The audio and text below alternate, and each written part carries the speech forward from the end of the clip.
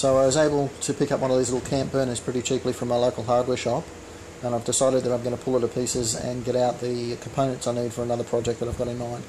I only need the controls and the regulator and it comes apart fairly easily, it's only held together with screws. Once I've got it all disassembled it's just a matter of chopping down the front cover to a smaller size. Once I've done that it's just a matter of reassembling it so that I can make use of the uh, components. That then gives me a box that I can actually use to actually hold the gas bottle in place uh, and control and regulate the flame. Quick test to make sure it's working. That's about as big a flame as you can get without it blowing out, but with an extension hose uh, you can get a much larger flame. Right, so what I'm working on here is a little side project.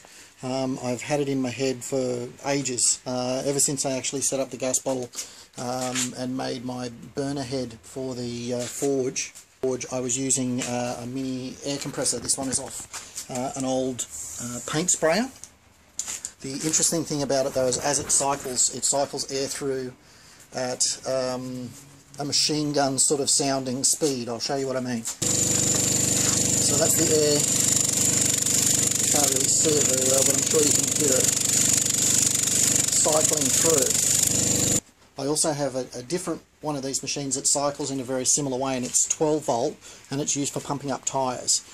Now what I'm hoping to do is to actually make a quiet muzzle flash simulator. So I've got this basically set up as a test and I'm planning on, if it works, uh, making a, a minigun setup to actually go with the Terminator um, and possibly even the future uh, minigun which was had a much larger bore and threw a much larger flame.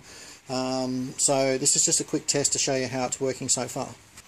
I'll lay this down because it works more effectively once it's in that position. It's designed to work that way. So gas on. Um, it regulates through the small hose. Okay. Uh, I've basically just got an extension hose there sort of thing for the sake of giving the, the flame a bit of distance. It's a very low temperature flame. It's only a butane flame. Okay, and that's what it's like. Um, that's what it's like, obviously, with just the gas on its own. If, however, we add air to the mix, and what I've got here is some of that hose uh, and that acts like a, a, an air regulator through the thinner hose and then into the pipe and then to the thicker pipe.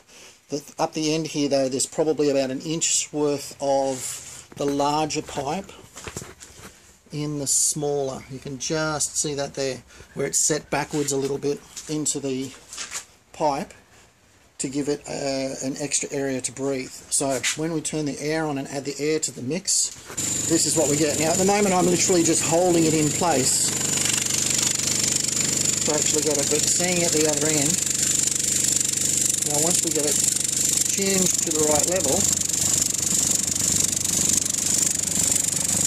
get that nice flaming sort of muzzle flash effect that we're getting. And this is where the tuning of it's going to have to come in. At the moment that's self-sustaining because I'm keeping the flame alive.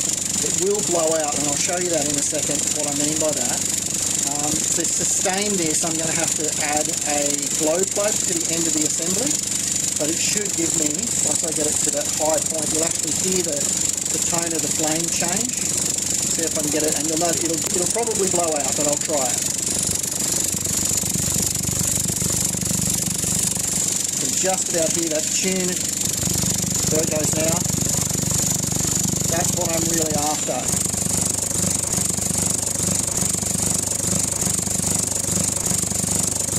That's it, and it's gone out.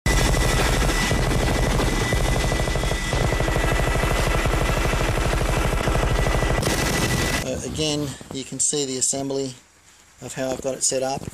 Um, I'm planning on putting um, I'm planning on putting a glow plug either on the top or the bottom there just to actually um, make sure that works. I'm not chasing a bang out of it. I'm not looking for noise out of it. Um, I want something that actually looks quite effective and, and, produces the result in terms of muzzle flash but without the, the noise factor associated with it. So that at the moment I'm calling it a successful test. There's still a lot of tweaking to do. Uh, haven't even started on the minigun as part of the, the Terminator project as yet.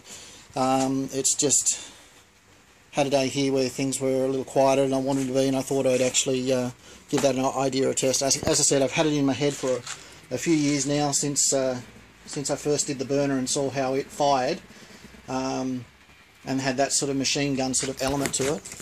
So I thought that might be worth pursuing. Anyway, that's just a quick update.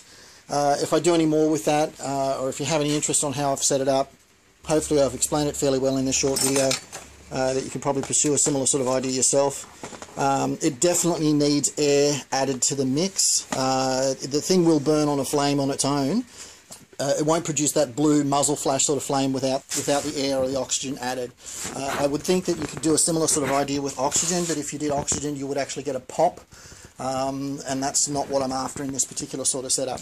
Um, I did also try to use uh, a piezo igniter to, um, to, to sustain the flame, uh, but I found that the air oxygen mix wasn't sufficient um, to actually maintain it. So I'm definitely going to have to go for something like a glow plug to actually uh, keep the flame alive.